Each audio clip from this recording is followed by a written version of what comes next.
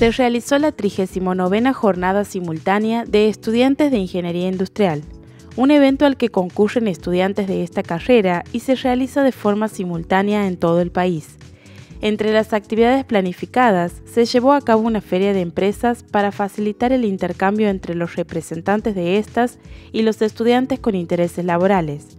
También se entregó un reconocimiento especial al ingeniero Alejandro Ferreiro, docente jubilado, quien fue impulsor de la carrera y su primer director. Esta jornada generalmente se realiza bueno, de manera simultánea con todas las universidades del país.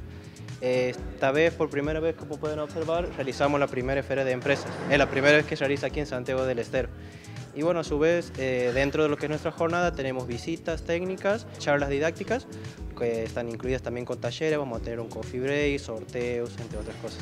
Más que nada para todos los alumnos de ingeniería industrial, desde los que ingresan a la carrera, los que ya están por terminar el año, como que les da un camino, por decirlo así, a los que recién están ingresando, para que sepan que no, no solamente es venir a cursar, sino que también tiene una asociación que los puede ayudar a su vez de que la asociación también te brinda no solo estas jornadas, sino también tenemos congresos a nivel nacional, otro tipo de eventos también, entonces es algo muy bonito la verdad.